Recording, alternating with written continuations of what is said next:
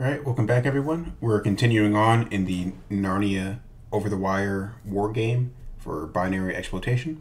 At the end of the last video, we got the password for Narnia 0. We did a very basic buffer overflow. So I recommend watching that video before you watch this one. All right, let's get started. Let's log in as a Narnia 1 user. Enter in their password. And we're good to go. Let's cd into the Narnia directory, ls tech l for anything that has Narnia 1. All right, we see a set user ID binary, and then the C source code file. Let's run Narnia 1, see what happens. Give me something to execute at the environment variable egg. All right, that's interesting.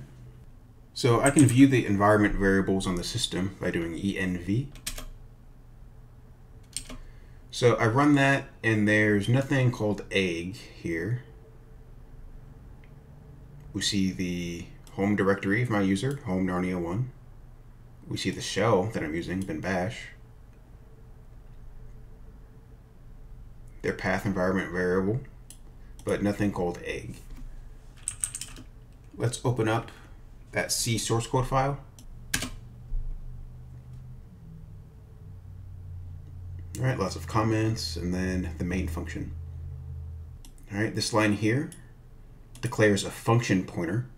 The next few lines look for the environment variable a, and if it's not present, which in our case, it's not there, it'll print, give me something to execute, and then it exits. So that's what we saw. This is the condition that we met. But here's what we want. We want it to print trying to execute egg, and then it calls get environment variable an egg. It stores it in that function pointer, and then it executes it. So function pointers can be a little confusing, but essentially it just grabs the result of whatever is in egg, and then it executes it. So to get started, let's set the egg environment variable to just some junk data. I'll set it to just a bunch of A's hit enter. Now I can print it out. There's my eggs. I can do env, and we see it here. So that's good to go. Let's rerun it. Trying to execute egg. All right, that's good. And then we get a segmentation fault. Let's open this program in GDB.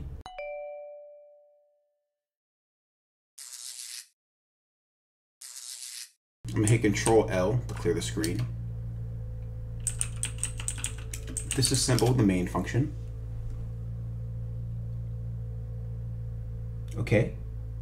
So this is the assembly instructions for that C source code that we just saw. This is AT&T syntax. You can tell because it has the percent symbols. I'm not a big fan of AT&T syntax. If you want to change it, you can do set disassembly flavor to Intel. Now re-disassemble main and the syntax, I believe, is a little bit easier to read. All x86 instructions typically begin with setting up the stack pointer. So we see the base pointer getting pushed, the value is being saved on the stack, and then the base pointer is being set to the stack pointer, and then at the very end, we see that um, it's being undone with the leave command. So this, so the first three, four instructions, and then the last few can typically always be ignored. They're always going to be very similar. It's always going to be setting up the stack and then tearing it down, restoring it. What we care about, and this is a great thing about the GDB debugger, we like these labels. We see get env. We saw that function call earlier. It's testing to see if it's null. And if it is, go to line 43 that we see is right here. So push this value on the stack and then print it out. Let's see if we can see what this is. Examine string at this address. Trying to execute egg. Okay, so if it's not null, jump not equal. So if it's not null, so if so if the egg environment variable is set, it goes to line 43, it prints trying to execute, it pushes this value on the stack. Can we print that out? Egg, all right. Let's set a breakpoint here at the call, the second call to the get environment variable right before it executes it. B for break, do star, and then that address, it creates the breakpoint. Oops, created too many. Run. All right, we hit breakpoint one, trying to execute egg. We examine the stack pointer?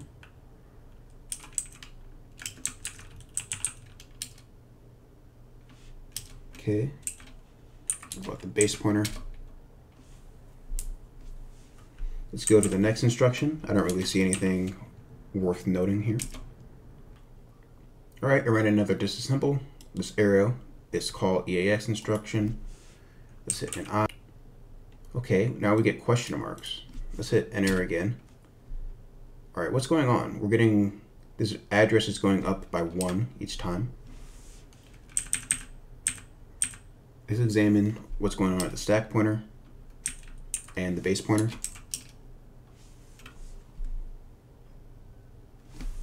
IR look at the registers. Right, so this value, FFFDE31, 32, and 33 are stored in ECX. We see that here. And what's currently being executed by the instruction pointer is 414141. That should look familiar. These are our A's. So our A's are being executed. The instruction 41 is really increment ECX. So that's why the value in ECX is being updated by one each time.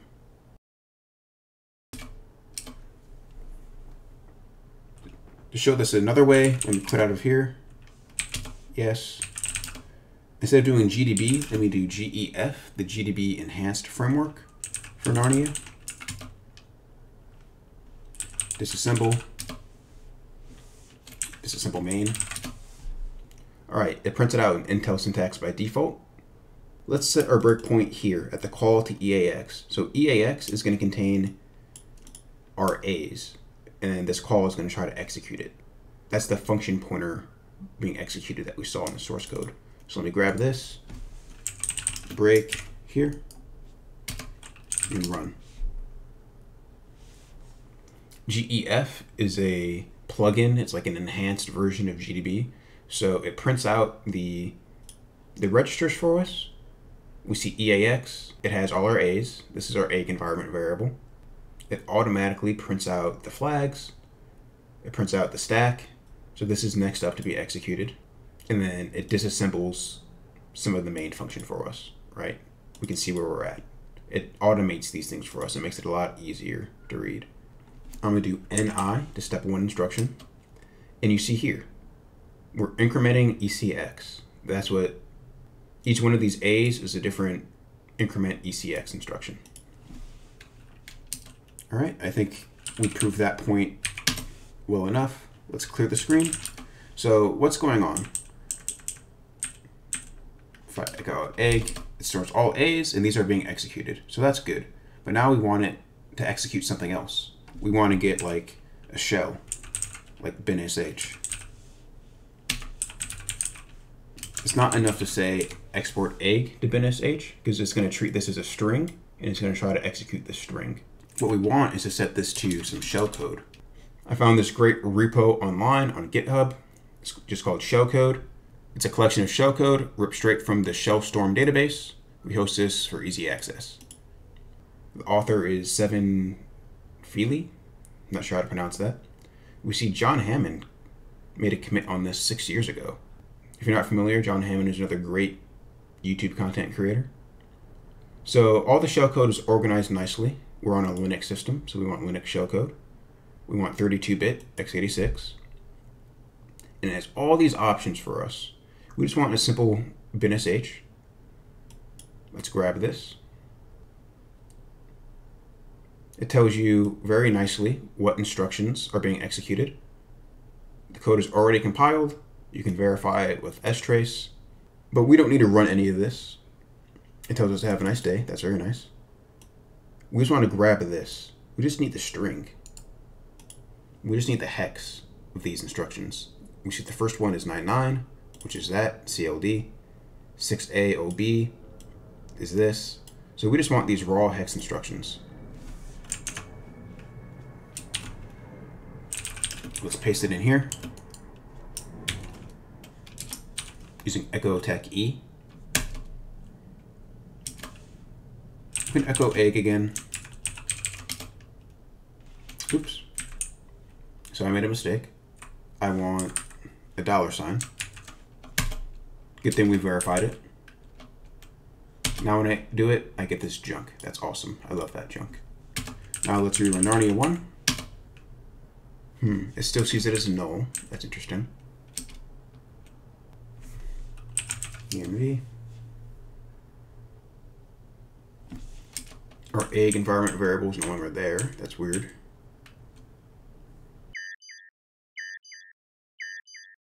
All right, I'm not sure why those issues were going on. The solution for me was to log out of this SSH session and then relog in.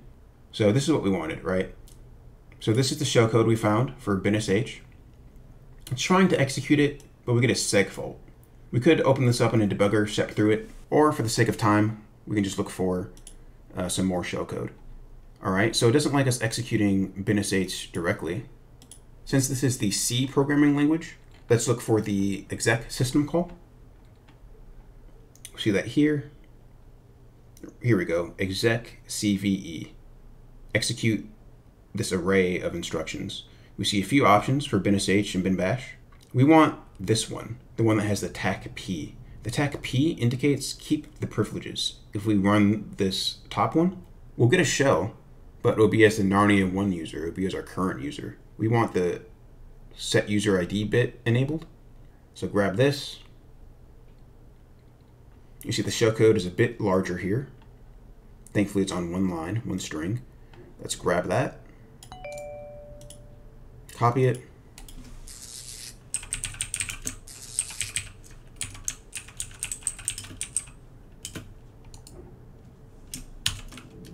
Slam that in there, our new shellcode, and rerun this executable. And we have a bash shell. Who am I?